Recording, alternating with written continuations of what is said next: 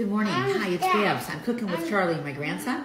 And uh, usually I make my own pancake mix, but if you don't have time, or you're having company, Costco sells this. It's fabulous. Light, fluffy, you add all the accoutrements.